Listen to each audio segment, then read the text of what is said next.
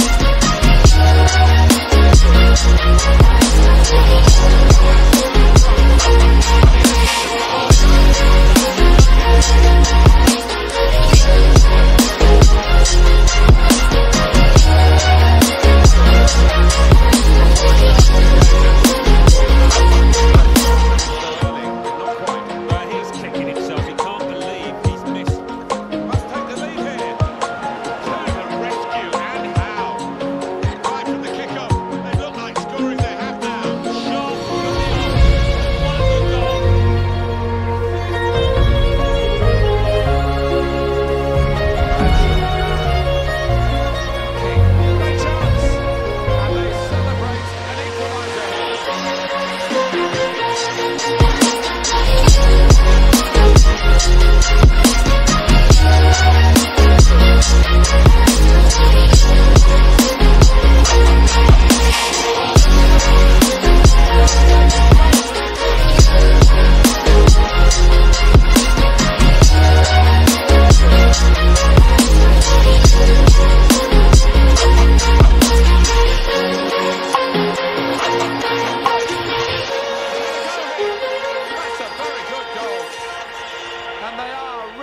Spotting the game now.